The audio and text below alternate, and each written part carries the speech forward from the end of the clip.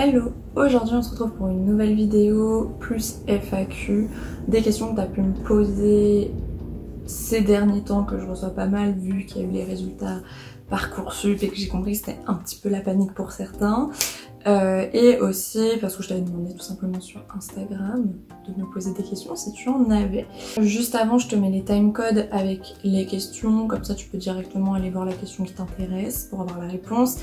Si dans le lot tu trouves pas euh, ce que tu cherchais, c'est peut-être parce que j'en ai déjà parlé dans d'autres vidéos, parce que j'en ai fait pas mal, où je te conseille justement euh, bah, autour de la licence, etc. Si c'est plutôt sur cet axe-là que tu cherches, ou sur d'autres axes, j'ai dû y répondre dans une de ces vidéos, donc je te laisse te balader dans ces playlists-là.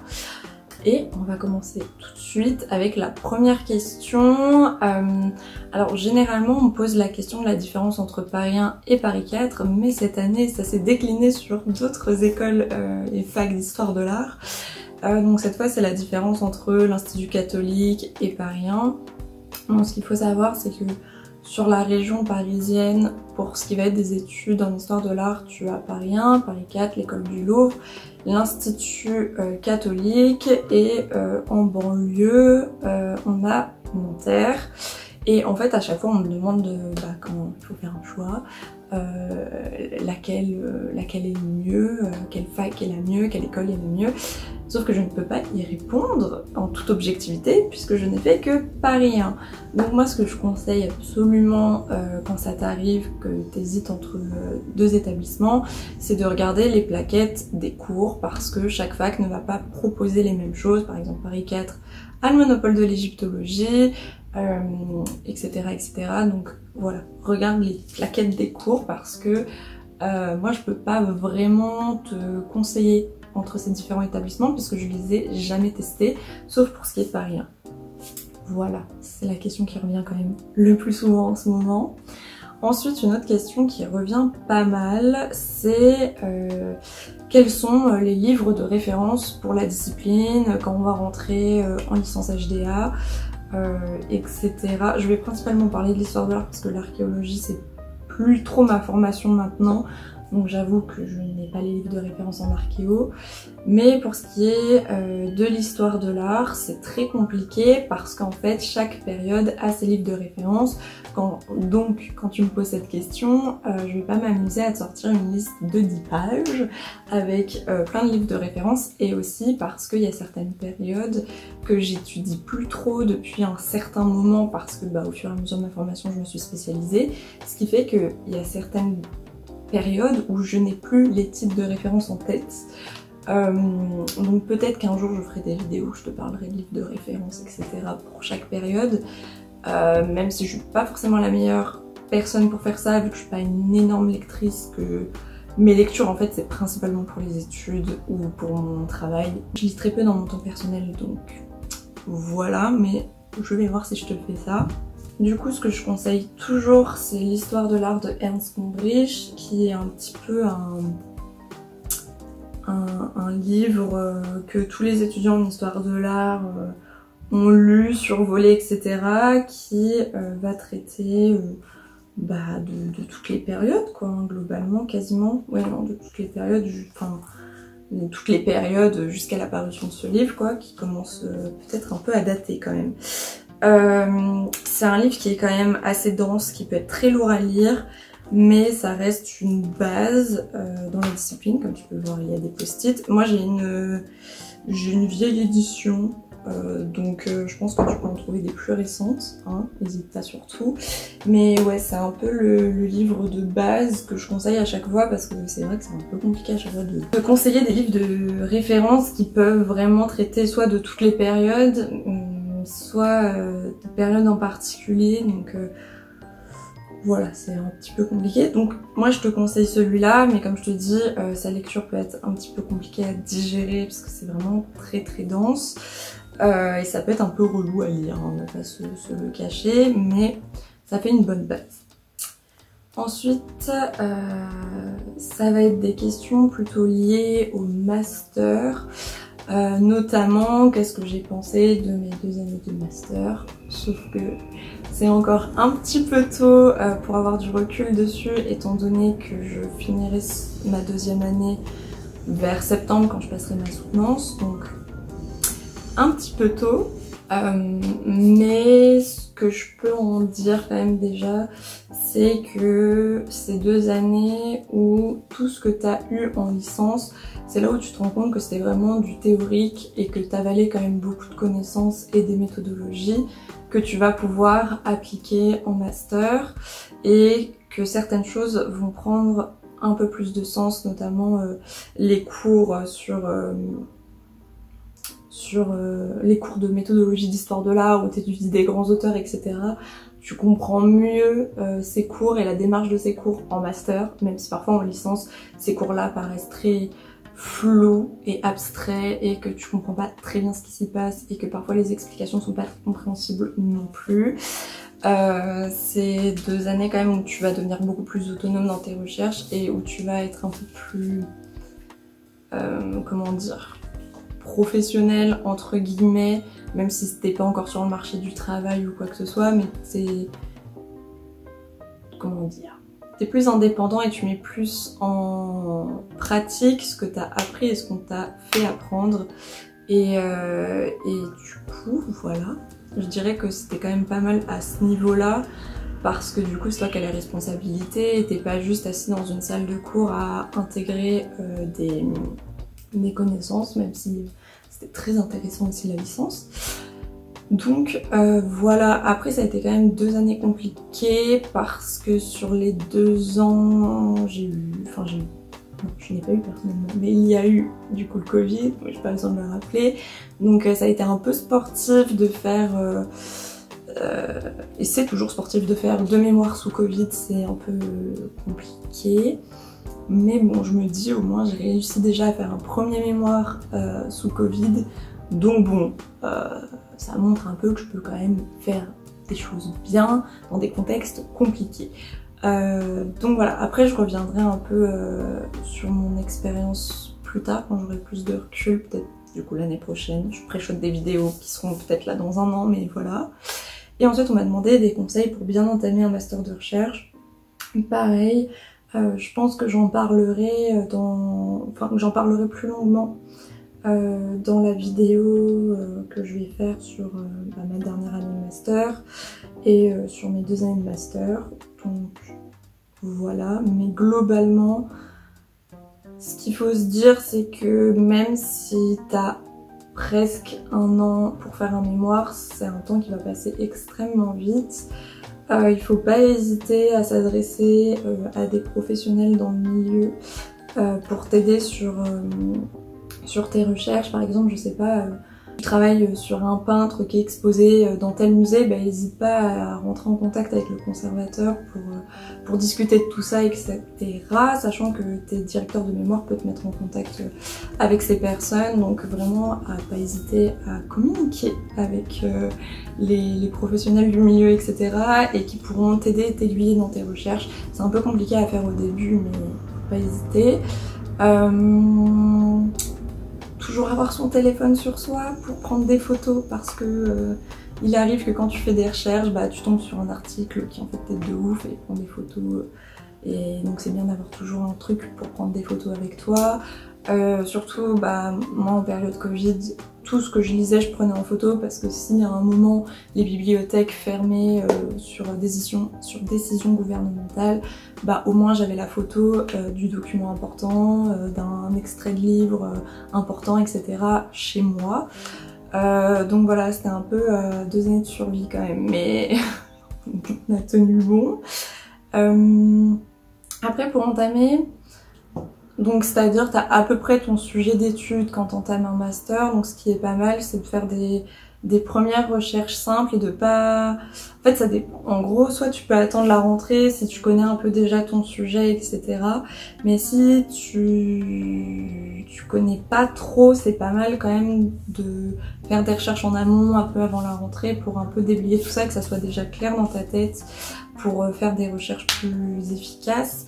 Par exemple, en première année, je ne connaissais pas du tout euh, l'artiste sur lequel j'allais travailler pendant tout mon M1. Donc ce que j'ai fait, c'est que j'ai commencé à faire petit à petit des recherches sur lui, juste pour savoir un peu euh, où je pouvais trouver des archives sur lui. euh, quel était son style, qu'est-ce qu'il faisait, est-ce qu'il faisait que de l'illustration ou est-ce qu'il faisait d'autres choses, mais vraiment des, choses très très basiques comme si tu faisais euh, une recherche très basique sur un artiste. Donc, euh, donc voilà, mais c'est histoire de déblayer et que ton cerveau il prenne un peu plus connaissance de ton sujet et de moins perdre de temps bah, quand ça sera vraiment le moment de faire de vraies recherches. Qu'est-ce qu'il y a d'autre comme conseil? Euh... Ah si, il y avait un prof qui nous disait euh, qu'il fallait accepter de se noyer. Alors c'est une phrase un peu peur, mais en fait globalement c'est pendant ta période de recherche. En vrai je te conseille d'aller voir la vidéo sur euh, laquelle je parle de faire un mémoire, etc. Parce qu'il y a toute une timeline, donc tu comprendras peut-être un peu, un peu mieux ce que je veux dire, mais sur ta période de recherche où tu vas énormément lire, consulter des archives, euh, compiler des archives, compiler, euh, je sais pas, si tu travailles sur un artiste, un corpus d'œuvres, etc. Euh, tu vas beaucoup lire énormément et du coup tu vas te sentir un petit peu submergé par tout ça parce que ça fait beaucoup d'informations mais à un moment ton cerveau va tout mettre bien en place et tu auras un déclic qui va faire que ça sera beaucoup plus fluide et que tu vas un peu sortir de la noyade, mais c'est vrai que au début, il faut vraiment se laisser submerger par les informations, consommer, c'est pas vraiment consommer, mais c'est beaucoup lire, énormément lire, parce que toutes ces informations, à un moment, tu vas voir que, bah par exemple, il y a plein d'éléments qui reviennent très souvent sur ton artiste. Euh, il y a des choses qui, euh, bah, au contraire, euh, n'ont jamais été abordées sur cet artiste. Euh, ça dépend de ton sujet bien entendu, si t'es en lettres ou je ne sais quoi, ça sera pas forcément ça. Tu vas voir qu'il y a des récurrences, des lacunes, euh, tu vas voir tout ça en fait au fur et à mesure que tu lis, tu vas voir euh, par exemple s'il y a déjà des choses qui ont été faites sur ton sujet, enfin pas sur ton sujet même mais autour de ton sujet, bah, qu'est-ce qui manque, quel discours a été utilisé pour parler de tel sujet, pourquoi, etc. etc. Donc voilà, faut se laisser un peu euh, submerger pour ensuite ressortir et euh, avoir, euh, avoir son, son, petit déclic pour ensuite pouvoir organiser correctement ta pensée. Mais c'est vrai que ça fait un peu peur, surtout que au début, t'as l'impression de beaucoup lire, mais de rien assimiler et de rien, de rien savoir. Mais à un moment, quand tu vas commencer à organiser ta pensée, tu vas être là en mode Ah non, mais en fait, je sais des choses, donc c'est cool, tout va bien, ça va bien se passer. Euh, après, je sais qu'à Paris 1, l'accent il est surtout mis sur le mémoire et en fait c'est notre job en fait pendant l'année de, de, faire le, mémoire, donc vraiment de se concentrer sur ça.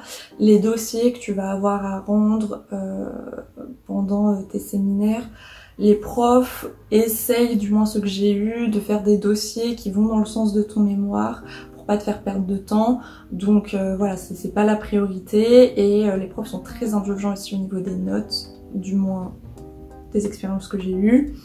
Donc vraiment voilà, se, focus sur le mémoire, mais aussi penser à, à s'aérer l'esprit.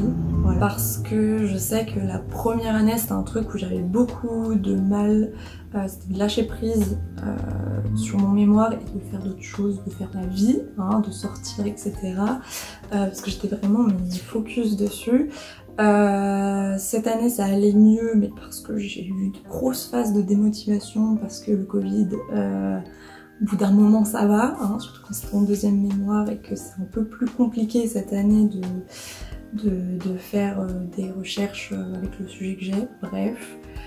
Euh, mais ouais, c'est important de s'aérer l'esprit. Le mémoire c'est aussi important, mais s'aérer l'esprit c'est tout aussi important. donc voilà, je pense que c'est les conseils là que j'ai sur le moment. Je pense que je ferai un truc un peu plus structuré, mieux construit et avec peut-être plus de conseils dans une autre vidéo, mais qui sera vraiment euh, dédiée aux mémoires. Et pour finir, la dernière question, c'était sur euh, comment se passe une soutenance de master en histoire de l'art à Paris, hein, je précise, parce que ça peut changer d'un établissement à l'autre, d'une discipline à l'autre, etc. etc. Euh, c'est une question qui revient pas mal quand les soutenances commencent à approcher, que ça soit en session 1 ou en session 2. donc, une soutenance. Tu viens de rendre ton mémoire, quelques semaines, oui, à peu près quelques semaines se sont écoulées et on te donne une fameuse date où euh, tu vas devoir te présenter euh, à l'INHA pour passer ta soutenance devant un jury composé de deux personnes, ton directeur de mémoire et une autre personne. Euh, soit cette deuxième personne n'y connaît absolument rien sur ton sujet, euh, il n'est pas du tout spécialisé euh, sur ton sujet, etc. Soit euh, c'est ton chargé de mémoire qui ne s'y connaissait pas trop et fait appel à quelqu'un qui s'y connaît bien. donc voilà.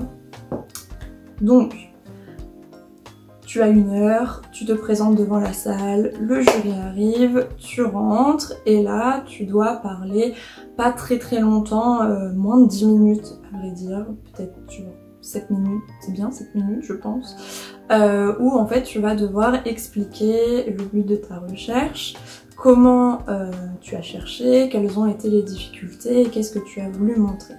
Ça sert absolument à rien de résumer ton mémoire, de parler de ton contenu de mémoire, puisque en fait le jury l'a lu, donc euh, ça fera que des répétitions. Ce qu'ils veulent vraiment savoir, c'est ta démarche et comment s'est passée ta recherche. Et ça permet euh, d'éclairer certains points pour ton lecteur. Par exemple, il y a quelque chose que tu n'as pas pu aborder parce que tout simplement, il n'y avait pas euh, suffisamment de documents pour aborder ce sujet, pas suffisamment d'archives pour aborder ce sujet ou alors tout simplement l'intervenant, enfin la personne à qui tu devais t'adresser pour développer ce sujet n'a jamais pu te répondre, etc. etc. Il peut avoir plein de, causes. Euh, globalement c'est un petit peu ça. Et puis aussi parler de tes difficultés, ça permet aussi de de voir les efforts que tu as pu faire pour produire ton mémoire et euh, de voir si tu as bien euh, un peu cherché partout, etc. Mais que, euh, ok, t'as cherché partout, mais certains accès t'étaient refusés, ça arrive, enfin ça peut arriver, ou euh, bah, à cause du Covid, t'as pas pu voir telle ou telle archive, donc du coup t'as pas eu le temps dans ton mémoire d'intégrer tout ça, etc. etc. après, une fois que t'as fini de parler, le jury va parler pendant une demi-heure, il me semble, c'était quelque chose comme ça l'année dernière, où en gros, ils vont te faire des retours sur ton mémoire, sur ce qu'ils ont bien aimé, sur les points où ils sont d'accord avec toi, et ils peuvent aussi dire des... Ils peuvent aussi revenir sur des points où ils sont pas d'accord et t'apporter leur réflexion là-dessus, ce qui est hyper intéressant pour enrichir euh, ton contenu et même corriger après euh, ce que tu as pu écrire. Euh, et te faire globalement un retour sur ton mémoire. Aussi, ce qu'ils vont faire, c'est te poser des questions si pendant euh, bah, ton temps de parole, t'as pas répondu à certaines questions, ou s'ils sont curieux aussi euh, d'en savoir plus, etc. Euh, donc globalement, ça passe très très vite en vrai parce que c'est de la discussion et tu les écoutes aussi beaucoup parler et faire des retours sur ton mémoire. Donc à vrai dire, ça va plutôt vite. Et une fois que tout ça est fini, désolée pour les travaux, tu sors de la salle, le jury délibère, ils te font re-rentrer et tu as directement euh, ta note qui t'est donnée et il me semble euh, qu'il faut signer un PV de soutenance, euh, il me semble. Je ne sais plus comment ça se passe, mais je crois que tu te présentes déjà avec ton PV de soutenance au début. Faut revoir ça parce que je m'en souviens plus très très bien. Et euh, bah t'as ta note et voilà, c'est fini. Globalement, tu dis merci et au revoir et voilà, t'as fini ta soutenance. Et c'est vraiment pendant la soutenance que t'as ta note directement, donc ça c'est plutôt cool. T'as pas besoin d'attendre 36 000 ans que l'administration euh, poste ta note sur euh, l'NT. Donc voilà. Globalement, euh, donc c'était les questions du moment. donc je répète, s'il y a une question que tu te poses et que t'as pas trouvé la réponse ici, c'est peut-être qu'elle est dans une de ces vidéos. Donc je te laisse te balader sur la chaîne, il y a une playlist entièrement faite pour, euh, pour euh, tout ce qui est euh, fac, questions, conseils, etc. Donc n'hésite pas à aller voir ça. Moi je te retrouve dans une prochaine vidéo. Salut